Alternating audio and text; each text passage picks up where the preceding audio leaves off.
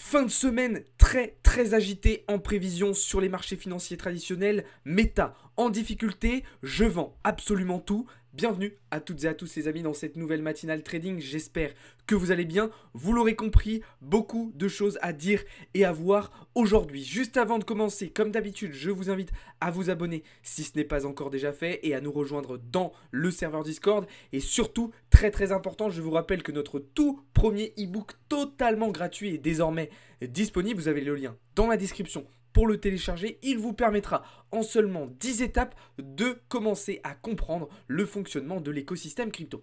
Allez, c'est parti, on commence tout de suite avec comme tous les matins un premier petit point sur les actualités du jour. Et on s'envole tout droit en direction des États-Unis où le président actuel euh, Biden a euh, proposé une nouvelle augmentation de la euh, taxation sur les plus-values des Américains, donc la plus-value qu'ils font tout simplement sur les marchés boursiers, sur les marchés crypto ou autres. Actuellement, on avait une plus-value aux États-Unis qui était, enfin une plus-value, une taxation, pardon, une imposition sur les plus-values aux États-Unis qui était similaire à ce qu'on avait à peu près en France et sur l'ensemble de l'Union européenne.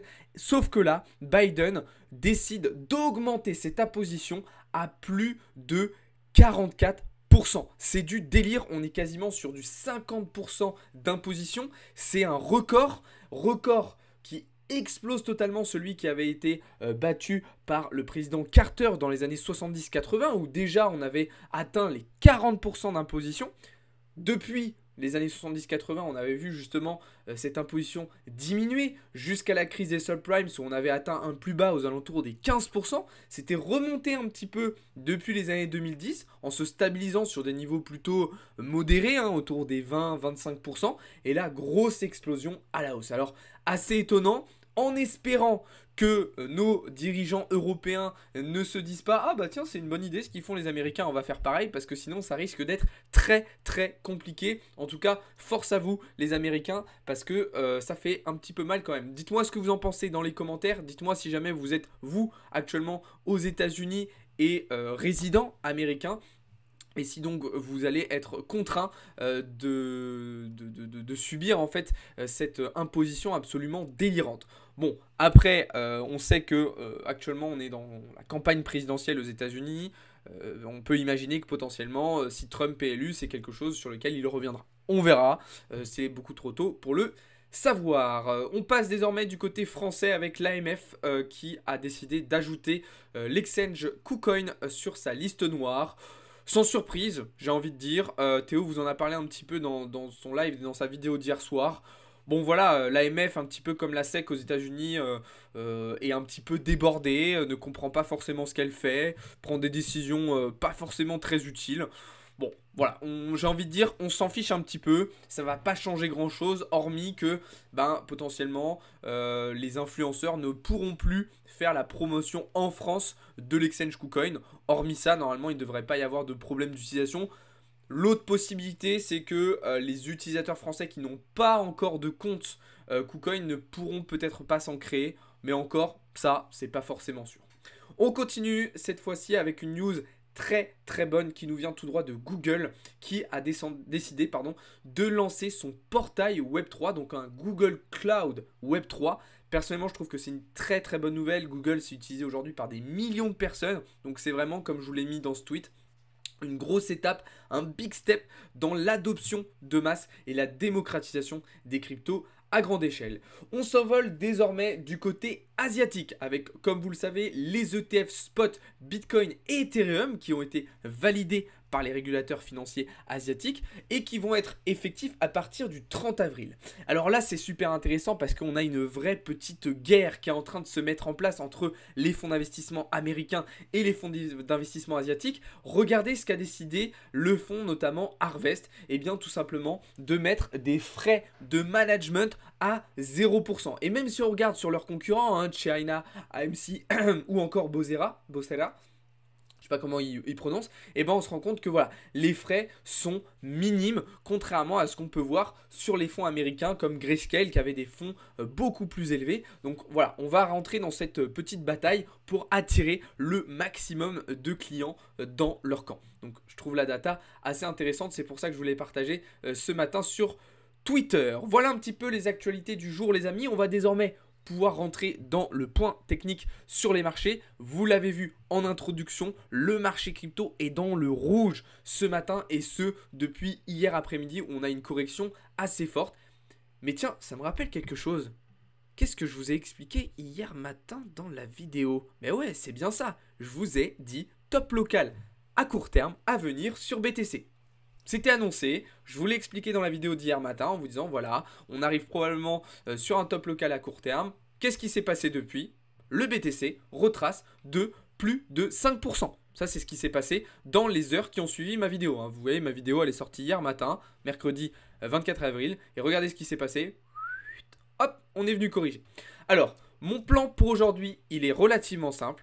C'est un petit rebond dans un premier temps et ensuite aller chercher de la continuation baissière. Et oui, effectivement, si on regarde, voilà, on se rend compte que durant cette impulsion baissière, on a laissé de la FVG pile poil sur le niveau 618 de Fibo.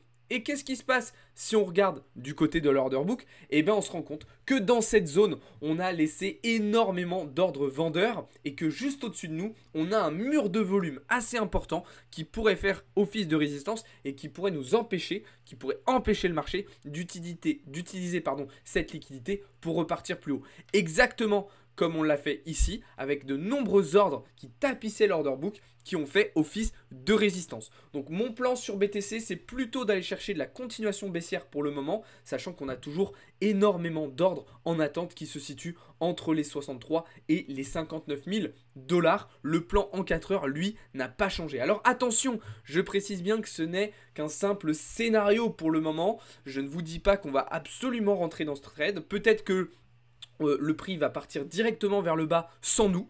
Peut-être au contraire qu'on va rebondir très très fort. Donc pour le moment, c'est une idée de position. Il n'y a rien de sûr. Je vous tiendrai au courant dans le serveur Discord de si on rentre dans ce trade, comment on rentre, de quelle manière, etc.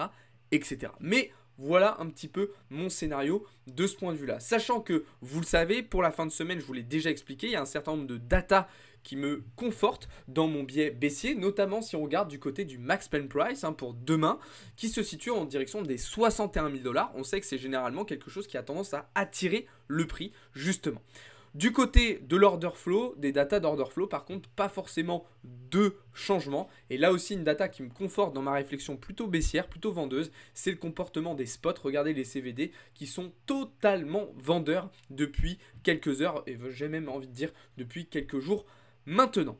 Voilà, ça c'est sur BTC. On va tout de même rester prudent parce que, comme je vais vous l'expliquer un petit peu plus tard dans la vidéo, on est quand même sur une fin de semaine qui s'annonce très agitée avec de nombreux catalyseurs macro qui vont probablement apporter énormément de volatilité sur le marché. Donc on va faire tout de même très attention. Du côté d'Ethereum cette fois-ci. Alors Ethereum, on s'est déjà positionné dessus. Effectivement, hier, Hugo l'un des analystes de Blockchain Capital, puisque oui, je rappelle, hein, chez Blockchain Capital, je ne suis pas le seul euh, à prendre des positions, à analyser, à trader. On est toute une équipe, d'accord? Euh, Et Hugo, donc, qui est l'un de nos analystes, vous a partagé une position à la vente sur ETH. Ok? Qu'est-ce qui s'est passé? Ben, Du coup, euh, Hugo envoie une position sur ETH, on a regardé un petit peu, effectivement, ben, on s'est positionné sur ETH. Et qu'est-ce qui s'est passé? Dans les heures qui ont suivi la position Eh ben, on est venu chercher tous nos TP et on s'est régalé. Regardez-moi ce trade absolument extraordinaire. D'ailleurs, il y a aussi certains de nos membres qui se sont régalés euh, sur ce trade-là. Ils, voulaient, vous en ont parlé directement dans le chat général. Mais regardez par exemple ici on a Fred qui réalise un superbe trade en short sur Ethereum. Il y a eu aussi Julien dans le chat général qui nous avait suivi. Il y a eu aussi Laurent. Enfin bref, vraiment de très très très bons résultats. Et donc lui, Hugo, voilà, qui enregistre un plus 240% de ROI sur son short sur Ethereum. Toutes ces positions là les amis, elles vous sont partagées quotidiennement dans le serveur Discord. Et puis Ether, le plan va être similaire désormais à Bitcoin. L'idée, ça va être de chercher un petit rebond à court terme pour aller chercher potentiellement de la continuation baissière dans un second temps en direction du support en 4 heures des 2700 dollars, zone sur laquelle pour moi on a vraiment besoin de rebondir avant de repartir à la hausse. Là aussi, même chose, on vous tiendra au courant au fur et à mesure de la journée s'il y a une éventuelle nouvelle prise de position. Ça, c'est ce qu'on pouvait dire à peu près du côté du marché crypto, les amis. On va désormais pouvoir basculer du côté des marchés financiers traditionnels. Je vais juste boire une petite gorgée d'eau et on fonce tout droit. Alors, Pour parler des marchés tradis, on va déjà revenir brièvement sur la journée d'hier, durant laquelle nous avons eu les résultats de l'entreprise Meta, donc en gros Facebook. Ok? Alors, Meta a publié de bons résultats. Ok Meta, franchement, c'est très très bien. Leur chiffre d'affaires augmente, leurs bénéfices augmentent, leurs ventes augmentent. Bah, on pourrait se dire, euh, c'est génial, tout va bien. Et pourtant, regardez le cours de l'action. En pré-market, on s'attend à une baisse quand même assez significative, en passant de 93,50 en clôture hier soir à potentiellement 431 dollars à l'ouverture cet après-midi. Ce qui nous ferait quand même une baisse assez significative de 12%, 12,5%. Vous allez me dire, mais comment ça se fait? Pourquoi euh, Meta publie des bons résultats et l'action corrige? Surtout qu'on a eu totalement l'inverse mardi, avec Tesla qui a publié des mauvais résultats et l'action s'est envolée de plus de 12%. Bah c'est simple. Il y a de grosses inquiétudes concernant Meta sur les coûts, sur les dépenses autour de l'intelligence artificielle. Déjà, rappelez-vous, il y a quelques années, lorsque Mark Zuckerberg avait décidé de prendre un virage justement vers le métaverse, il y avait des dépenses qui avaient augmenté de manière significative et qui avaient effrayé un petit peu les investisseurs. Et bien là, aujourd'hui, Meta se prépare potentiellement à faire un nouveau virage aussi vers l'intelligence artificielle, sauf qu'il y a de gros point d'interrogation sur les dépenses qui vont être créées par ce nouveau virage. Et donc ça entraîne de la crispation, ce qui entraîne bah, justement ce retracement en pré-market de prévu sur l'action. Et puis, au-delà de ça, Meta, faut savoir que c'est une grosse pondération des indices, et ça a un rôle très très important sur les marchés américains. D'ailleurs, ça a même créé de la crispation sur d'autres actions, puisque si on regarde Microsoft, pareil, un petit peu de baisse prévue en pré-market, et sur Google, même chose. D'ailleurs, Microsoft et Google qui publieront leurs résultats ce soir après la clôture des marchés. Et là aussi, ce sont eux de grosses pondérations des, indices américains qui pourraient potentiellement, probablement amener de la volatilité et peut-être une pression vendeuse. Ok? Donc ça, c'était pour la partie microéconomique. Il va falloir vraiment rester très très attentif vis à -vis de tout cela. D'un point de vue macroéconomique désormais, vous le savez, aujourd'hui est une journée très très importante puisque nous allons avoir la première publication, enfin la publication de la première estimation de la croissance au premier trimestre 2024 aux États-Unis. Donc en gros, le PIB sur le T1 2024 aux US. Ce PIB, il est attendu à 2,5% contre 3,4% précédemment. Donc léger ralentissement de la croissance, rien de très inquiétant et c'est même plutôt une bonne nouvelle puisque ça pourrait participer à un ralentissement de l'inflation. Maintenant, ce qui va être intéressant, c'est de voir comment vont interpréter les marchés ces chiffres-là, et puis surtout si les estimations vont être bonnes, puisque si par malheur on observe un rebond de la croissance et un chiffre potentiellement bah, au-dessus des 2,5 ou pire au-dessus des 3,4%, alors là ça pourrait être considéré comme des datas inflationnistes par les marchés et ça pourrait faire de nouveau rebondir le dollar, de nouveau rebondir les taux courts comme le taux à 2 ans ou encore le taux à 10 ans. Sachant que ça c'est le résultat d'aujourd'hui, mais les résultats les plus importants auront lieu demain puisqu'on aura notamment la publication des chiffres de l'inflation avec les datas PCE, indice des prix à la consommation des ménages aux États-Unis. D'accord? Donc ça, ça va être les éléments à suivre aujourd'hui, bien évidemment, qu'on suivra en direct cet après-midi en live à partir de 14h15, en euh, live donc sur Twitch et sur TikTok. Bon, maintenant que ça s'est dit, d'un point de vue technique, qu'est-ce qu'on fait sur les marchés? Eh bien c'est pareil, on vend. On vend à commencer par le gold sur lequel j'ai pris une nouvelle petite position vendeuse. Alors attention, c'est très très très très très très risqué, d'accord? Là vous voyez actuellement d'ailleurs, je suis dans le rouge. On est sur du contre-tendance, on est à l'approche de publications de résultats macroéconomiques qui vont apporter de la volatilité. Donc vraiment, faites très très attention. C'est pas un conseil en investissement. Copiez pas bêtement ce que je dis, ce que je fais, ce que je montre. Ok, surtout pas. Là, je me suis permis cette position parce que je viens d'enchaîner deux superbes trades sur le gold. Donc voilà. Au vu de ma stratégie, au vu de mon risk management, c'est cohérent pour moi de faire ça, mais ça ne sera pas forcément le cas pour vous. Malgré ça, on a quand même un price action pour moi qui est bearish sur le gold, mais ça va vraiment dépendre de ce que va faire le dollar selon moi et de la publication des différents résultats. Donc encore une fois, faites très très attention. Mais l'objectif ici pour moi va être de venir récupérer ces équal low en direction des 2266 points qui vont être très intéressants à récupérer avant éventuellement une reprise haussière, une reprise à l'achat pour aller chercher de nouveaux ATH. Du côté des indices américains, c'est la même chose. Je suis rentré à la vente hier sur le Dow Jones.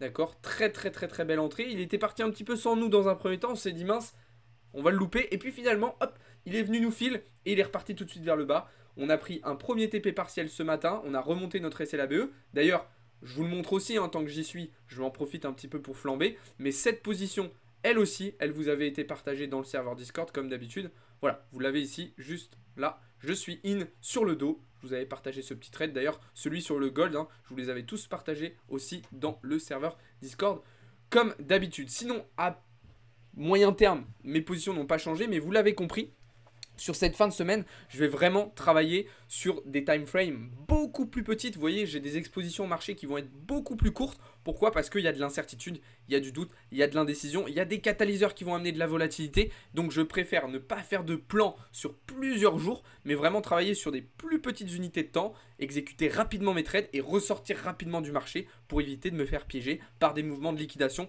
dans un sens ou dans l'autre. D'accord? Donc pour ceux qui veulent un petit peu mes plans, mes scénarios sur du moyen terme, allez voir ce que je vous mets dans le serveur Discord, allez voir les autres vidéos sur YouTube, vous aurez énormément d'informations. Pour le moment, le VIX reste relativement calme, mais attention, ça pourrait très très vite repartir vers le haut en deuxième partie de semaine, donc à partir de cet après-midi et demain, donc il faudra rester attentif vis-à-vis -vis de tout cela. Voilà les amis, on arrive au terme de cette vidéo qui était un petit peu plus courte que d'habitude, mais en même temps, j'avais pas forcément beaucoup beaucoup de choses à vous dire de plus. J'ai essayé d'être concis, d'aller à l'essentiel et de vous donner toutes les informations nécessaires. Soyez prudents cet après-midi. Si vous débutez, n'essayez pas de trader les annonces. Même chose demain, ça peut être extrêmement compliqué et dangereux. Donc faites attention à vous, faites attention à vos positions. Sur ce, moi, je vous souhaite à toutes et à tous une très très bonne journée. Je vous attends dans le serveur Discord et je vous dis à très vite. Ciao tout le monde, c'était Alex pour Blockchain Capital.